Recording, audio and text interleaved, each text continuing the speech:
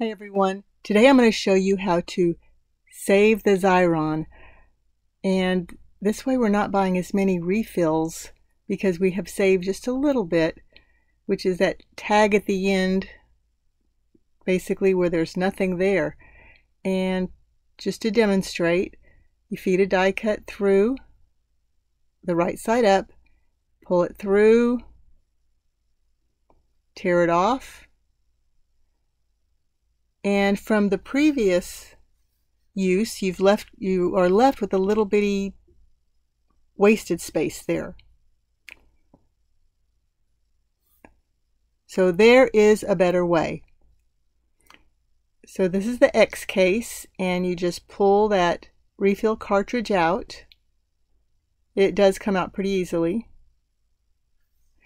And you will see that there is a little opening and we're going to feed some die, die cuts through that opening.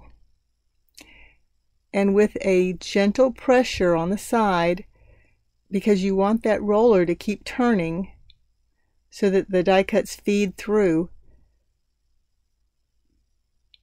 just hold it gently and uh, you'll see those die cuts just feeding through easily. And no case so you're able to see where one ends and then you can start the other one. And there'll be very little space in between, which means less waste. So then just take some scissors, trim it off, and you're ready for the next one, next time you need to use it.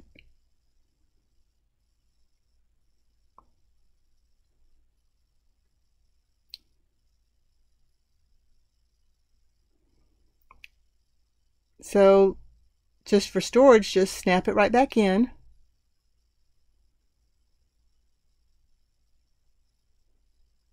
There you go. I hope you like this. Please like and subscribe. I'd appreciate it. And I'm going to get on with this 5 inch one. Thanks.